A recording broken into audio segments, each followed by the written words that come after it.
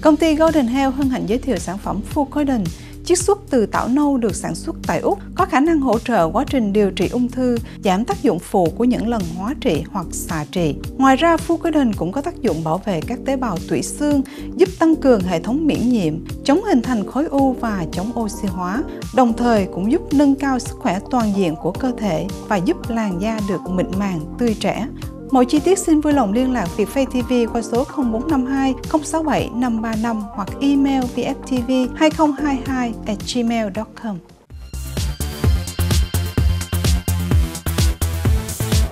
Lily và Kim Hoàng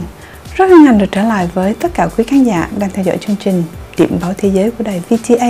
trong buổi tối ngày hôm nay thứ ba 29 tháng 10 2024.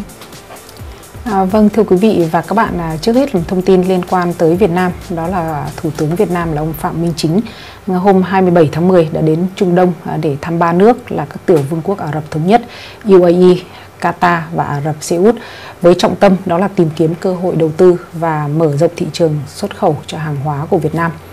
À, đây là chuyến thăm chính thức đầu tiên của một thủ tướng Việt Nam tới UAE và Qatar trong 15 năm qua và là chuyến thăm đầu tiên tới Ả Rập Xê Út kể từ khi hai nước thiết lập quan hệ ngoại giao. À, và trong ngày hôm qua thì tại điểm dừng chân đầu tiên là các tiểu vương quốc à, Ả Rập Thống Nhất là UAE thì hai nước cũng đã nhất trí nâng cấp quan hệ lên mức cao nhất là đối tác toàn diện, đưa UAE trở thành đối tác toàn diện đầu tiên của Việt Nam ở Trung Đông. Và hai nước cũng ký hiệp ước đối tác kinh tế toàn diện là CEPA tập trung hợp tác về đổi mới sáng tạo, chuyển đổi xanh, chuyển đổi số, kinh tế tuần hoàn, tăng trưởng kinh tế, hợp tác thương mại đầu tư, lao động và cũng mở cửa cho xuất khẩu những cái sản phẩm à, là hala, tức là thực phẩm theo tiêu chuẩn của Hồi giáo vào nước này nhằm nâng kim ngạch song phương lên tới 10 tỷ Mỹ Kim. À, được biết UAE là thị trường xuất khẩu lớn nhất của Việt Nam ở cả Trung Đông và khu vực Bắc Phi khi mà trong 9 tháng đầu năm nay thì à, kim ngạch xuất nhập khẩu đã đạt 5 tỷ đô la. À, UAE cũng là một trong những thị trường xuất khẩu lao động chính của Việt Nam ở khu vực Trung Đông. Và trong chuyến thăm này thì à, Thủ tướng Phạm Minh Chính cũng đã kêu gọi UAE là một trong những nước đầu tư ra nước ngoài à, lớn nhất thế giới thì cũng tăng cường đầu tư vào Việt Nam trong các lĩnh vực như công nghệ cao, điện tử, chip bán dẫn, đổi mới sáng tạo, trí tuệ nhân tạo và điện toán đám mây. Đồng thời à, đặc biệt là giúp cho hai thành phố à, Sài Gòn và Đà Nẵng xây dựng những cái trung tâm tài chính lớn. À, hiện tại thì đầu tư của UAE vào Việt Nam mới chỉ đạt có trên 74 triệu Mỹ Kim. À, ngoài ra thì ông chính cũng muốn các quỹ đầu tư của UAE là giúp Việt Nam à, được tiếp cận với các nguồn vốn tài chính quốc tế để có thể thực hiện các mục tiêu bền vững hướng đến tăng trưởng xanh. Và kính thưa quý vị, nhân dịp Thủ tướng Việt Nam Phạm Minh Chính có mặt tại Ả Rập Saudi à, và các quốc gia tà ổ của à, các vương quốc Ả Rập Thống Nhất, thì hãng xe VinFast cũng đã có buổi triển lãm xe tại đây. Và không biết là VinFast có thu hoạch gì hay không? Tuy nhiên đây cũng là một trong những cái dấu ấn và một trong những điều mà ông Chính hy vọng là xe điện của Việt Nam cũng được khách hàng tại khu vực Trung Đông quan tâm và um, sở hữu trong thời gian sắp tới. Trong khi đó thì tại Việt Nam, tập đoàn Vingroup có nghĩa là công ty mẹ của VinFast vừa tuyên bố một cái gói hỗ trợ đối với các công ty khởi nghiệp trị giá lên đến 150 triệu Mỹ Kim. À, đây là gói hoặc là đây là cái chương trình có tên gọi là Vin Venture và chương trình này không những chỉ tập trung tài trợ cho các công ty khởi nghiệp từ Việt Nam mà chương trình cũng sẽ tài trợ cho các công ty ở một số các quốc gia Đông Nam Á, chẳng hạn như là những công ty tại Singapore, tại Indonesia và tại Philippines. Đa số những cái công ty hoạt động trong các lĩnh vực công nghệ thông tin hoặc là những cái cổng à, lĩnh vực AI có nghĩa là trí tuệ nhân tạo cũng như chất bán dẫn và điện toán đám mây. Đó sẽ là những cái lĩnh vực có cơ hội nhận được tài trợ từ nguồn quỹ VinVenture này. Ngoài ra thì Vingroup cũng cho biết là việc đầu tư vào các công ty khởi nghiệp, đặc biệt là trong lĩnh vực công nghệ đang được xem là ưu tiên chiến lược của tập đoàn Vingroup. Trước đó thì môi trường khởi nghiệp của Việt Nam cũng đã nhận được số tiền lên đến là 2 tỷ 600 triệu đô la trong năm 2021, gia tăng đáng kể so với chỉ có 700 triệu đô la trong một năm trước đó. Theo báo cáo chung của Google cũng như là Timax Holding và công ty kiểm toán Buy. Tuy nhiên, một báo cáo riêng rẽ do Du Venture và Trung tâm Đổi mới sáng tạo quốc gia Việt Nam tổng hợp lại các dữ liệu đã cho thấy là số vốn đầu tư và các công ty khởi nghiệp đã giảm xuống chỉ còn là 529 triệu Mỹ Kim trong năm 2023, xếp hàng thứ ba trong số các quốc gia tại khu vực Đông Nam Á. À, vâng, thưa quý vị và các bạn, à, trong khi đó thì à, tại Mỹ, à, cựu đệ nhất phu nhân Melania Trump à, thì đã lâu nay thì vắng bóng mặt trên truyền thông. À, tuy nhiên mà ngày hôm qua thì bà đã bất ngờ xuất hiện và có bài phát biểu tại một cuộc vận động tranh cử của cựu tổng thống Donald Trump, tức là chồng bà tại thành phố New York. Và sự xuất hiện của bà cũng đã gây nhiều bất ngờ bởi vì là bà hoàn toàn không có tên trong danh sách các diễn giả phát biểu à, tại cái cuộc vận động tranh cử đó à, được công bố trước đó. Và trong bài phát biểu dài gần 5 phút thì à, bà Medina cũng chủ yếu là chỉ trích cái việc mà đời sống của người dân Mỹ là giảm sút dưới thời cầm quyền của Đảng Dân Chủ và kết thúc bài phát biểu bằng cách là giới thiệu ông Donald Trump lên sân khấu phát biểu. À, bà Melania Trump thì hầu như không tham dự bất cứ một cái sự kiện vận động tranh cử nào của chồng trong à, gần một năm qua. À, chỉ có vào tháng 7 vừa rồi khi mà Đại hội toàn quốc của Đảng Cộng Hòa chính thức đề cử ông Trump ra làm ứng cử viên tranh cử tổng thống thì bà cũng đã tới dự nhưng mà hoàn toàn không có bài phát biểu nào. Và gần đây nhất thì à, bà Melania lên báo là để quảng bá cái cuốn hồi ký của bà à, xuất bản trong tháng 10 này. À, cuốn hồi ký này thì à, gây rất nhiều chú ý bởi vì là trong cuốn hồi ký đó thì à, bà nói rằng là bà ủng hộ cái quyền nạo phá thai của phụ nữ và phụ nữ được quyết định về thân thể mình à, dựa trên nhận thức của chính họ. Và quan điểm này được chú ý bởi vì là nó hoàn toàn trái ngược với quan điểm của à, cựu tổng thống Donald Trump khi mà liên tiếp trong cái cuộc vận động tranh cử vừa rồi thì ông Trump cũng nhiều lần khẳng định là khi ông thắng cử mà lên cầm quyền trở lại thì ông sẽ đưa ra cái luật cấm nạo phá thai ở nước Mỹ. Và chủ đề về nạo phá thai cũng đã được một cựu đệ nhất phu nhân khác đó là bà Michelle Obama ờ, đã nêu lên khi bà cùng xuất hiện với ứng cử viên đảng Dân Chủ là bà Kamala Harris trong một cái cuộc vận động vào ngày 26 tây tháng 10, có nghĩa là một ngày trước khi sự,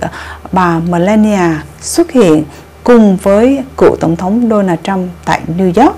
Và bà Michelle Obama hiện nay cũng được cho là một trong những cái vũ khí tối thượng của đảng Dân Chủ. Và vì vậy mà ứng cử viên Dân Chủ Kamala Harris đã sử dụng vũ khí này trong những ngày cuối cùng của chặng đua vào Tòa Bạch Ốc vào ngày 5 tây tháng 11 và khi xuất hiện trên sân khấu cùng với ứng cử viên Kamala Harris, bà Michelle Obama cũng đã xác nhận là một chính quyền à, Donald Trump trong tương lai được coi là một thảm họa đối với phụ nữ. Đồng thời bà Michelle Obama cũng đã chỉ trích giới truyền thông cũng như là cử tri Hoa Kỳ vì đã áp đặt những cái tiêu chuẩn rất cao đối với bà Harris à, so với những tiêu chuẩn mà cử tri dành cho ông Donald Trump. Hay nói một cách khác là bà Kamala Harris đang nhận được một cái à, sự khắc khe hơn từ phía cử tri. Và sự xuất hiện của bà Michelle Obama cũng đã đặc biệt nhấn mạnh đến yếu tố phụ nữ trong chiến dịch tranh cử lần này. Và bà cũng đã nêu cao tinh thần hoặc là nêu cao việc phụ nữ có quyền đối với thân thể của họ trong quyết định về phá thai, một quyết định mà à, ông Donald Trump luôn chống đối trong khi quyết định này hoặc là kế hoạch này lại nhận được sự ủng hộ của bà Kamala Harris và cũng chính vì vậy Michelle Obama đã nêu bật yếu tố này với hy vọng sẽ thu hút cử tri phụ nữ bầu cho bà Kamala Harris vào ngày 5 tây tháng 11 sắp tới. Và liên quan đến cuộc vận động của ông Donald Trump trong uh, cái khuôn viên của cuộc vận động diễn ra tại Madison Square Garden ở thành phố New York, ngoài sự xuất hiện bất ngờ của cựu đệ nhất phu nhân Melania Trump còn có sự đồng hành của tỷ phú Elon Musk. Và khi ông xuất hiện trên sân khấu thì tỷ phú Elon Musk cũng đã được đặt câu hỏi là ông có thể làm gì để hạ giảm những cái tiền thất thoát hoặc là những cái số nợ mà ngân sách Hoa Kỳ đang gánh khoảng 6.500 tỷ đô la. Đây là một sự lãng phí của chính quyền Joe Biden cũng như là Kamala Harris. Thì lập tức ông Elon Musk đã tự tin xác nhận là một chính quyền Trump trong tương lai với sự cố vấn của ông có thể giảm hạ được khoảng 2 tỷ đô la, có nghĩa là tiết kiệm được ngân quỹ 2 tỷ đô la trong khoảng thời gian mà à, nhiệm kỳ sắp tới của ông Trump. Trước đó vào tháng 9 thì ông Elon Musk cũng đã xác nhận là mỗi 1.000 tỷ đô la tiền nợ tăng thêm sẽ là những cái khoản tiền mà thế hệ con cháu của chúng tôi sẽ phải trả bằng một cách nào đó. Hay nói một cách khác là sự phung phí của chính phủ hiện nay sẽ là một áp lực kinh tế đối với thế hệ trẻ khi thế hệ này phải đi làm và phải đóng mức thuế cao hơn để trả cho những cái khoản nợ này. Và đó là hai luồng ý kiến trái chiều cũng như là hai cuộc vận động khác nhau diễn ra giữa nữ ứng cử viên Kamala Harris cũng như là ứng cử viên Donald Trump. Khi mà ông Donald Trump liên tục có sự đồng hành từ tỷ phú Elon Musk, và đây cũng là một cái hiện tượng mà theo đánh giá của đài CNN không những là một tỷ phú hiện nay ông Elon Musk cũng đang dấn thân vào con đường chính trị. Một cái sự dấn thân rất là rõ rệt, bởi vì trong thời gian vừa qua, cụ thể là trong 3 năm qua, ông Elon Musk đã liên tục gia tăng tần suất các cuộc họp, các cuộc gặp gỡ giữa ông với thủ tướng, với tổng thống, cũng như là các nhân vật chính trị gia cao cấp tại rất nhiều quốc gia trên thế giới. À, vâng thưa quý vị và các bạn à, theo đài CNN thì à, mặc dù mối quan hệ của ông với các nhà lãnh đạo à, trên thế giới không chỉ ở nước Mỹ thì từng có trước đây à, tức là nhà tỷ phú này đã gây dựng trước đó. Thế nhưng mà trong 3 năm qua tỷ phú Elon Musk dường như cũng đang muốn biến mình từ một trong những doanh nhân giàu có và có ảnh hưởng nhất thế giới thành một nhân vật ngày càng quyền lực hơn không chỉ trong các vấn đề giải quyết về kinh tế mà cả các cái vấn đề à, khác mà các nước đang cần giải quyết trên toàn cầu và tổng hợp lại thì à, đài CNN cho rằng là có cuộc gặp với lãnh đạo các nước cho thấy là ông Elon Musk đã được săn đón không chỉ vì là ông có các cái công ty hay là hầu bao dùng dình của mình, mà còn vì là ông có nhiều cái tiếng nói và có khả năng tác động đến tiến trình à, chiến tranh thông qua việc cung cấp các cái vệ tinh Starlink của mình hay là quan điểm của ông về việc mà đi đầu trong cái việc mà phát triển trí tuệ nhân tạo hay làn sóng phát triển công nghệ tiếp theo hay cũng như vai trò của ông trong việc mà tác động đến dư luận truyền thông qua nền tảng xã hội X. Và hôm thứ Sáu vừa rồi thì à, tờ Wall Street Journal cũng đã đưa tin là ông Musk cũng đã liên lạc thường xuyên với cả Tổng thống Nga Vladimir Putin và các quan chức chính phủ Nga khác và nội dung cuộc trò chuyện cũng là bao gồm xoay quanh cái à, vệ tinh Starlink kể từ cuối năm 2022. Và đối với ông Musk thì à, các cuộc trò chuyện với các lãnh đạo toàn cầu như vậy là một vòng tuần hoàn tốt bởi vì 6 công ty lớn của ông à, sở hữu hoặc là điều hành giúp ông có được cái mối quan hệ à, rộng hơn với những nhân vật đó mà qua đó cũng giúp cho các công ty của ông là khi muốn đầu tư hay là hoạt động kinh tế ở các nước đó thì à, cũng dường như là thuận lợi hơn. À, đổi lại mối quan tâm của các nhà lãnh đạo đó thì à, cũng đã thu hút doanh nghiệp của ông Musk là để tạo ra nhiều công ăn việc làm cho nước mình à, đồng thời cũng là nhờ ông Musk mà tư vấn cho việc mà giải quyết các cái vấn đề mà nước mình đang phải đối diện.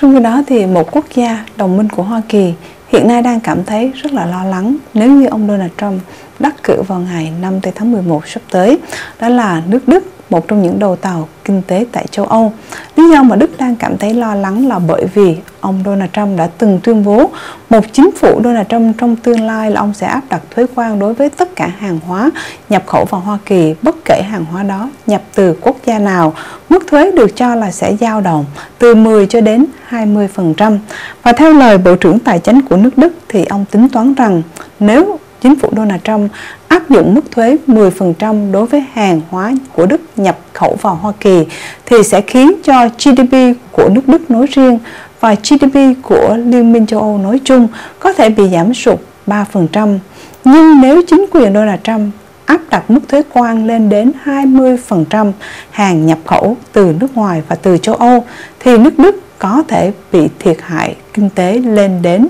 10% và đó là những lo lắng hoàn toàn có cơ sở là bởi vì thương mại là một trong những trụ cột kinh tế của nước Đức vì thế căng thẳng gia tăng sẽ khiến cho bất ổn gia tăng và thuế quan cũng sẽ có tác động rất là nặng nề đến sinh hoạt kinh tế và đối với các hộ gia đình. Trước đó thì vào năm 2021, Mỹ là đối tác thương mại lớn thứ hai của Đức, chỉ đứng sau Trung Quốc mà thôi. Tuy nhiên, trong nửa đầu năm nay 2024, thì Hoa Kỳ đã vượt qua Trung Quốc trở thành đối tác thương mại lớn nhất của nước Đức.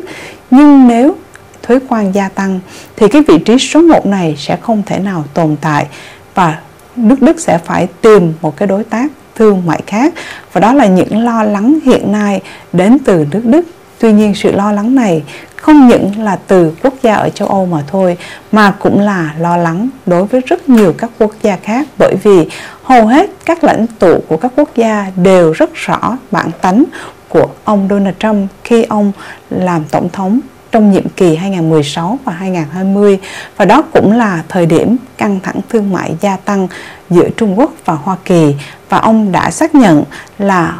ông muốn gìn giữ công việc làm cho người dân Hoa Kỳ bằng cách là áp đặt thuế quan đối với hàng nhập khẩu để các công ty không thể tiếp tục nhập hàng từ nước ngoài. Thay vào đó, các công ty phải đặt trụ sở và đặt cơ sở sản xuất tại Mỹ và đó là một trong những cái xu hướng bảo hộ mà ông Donald Trump sẽ áp dụng nếu ông thực sự đắc cử vào ngày 5 tháng 11 sắp tới.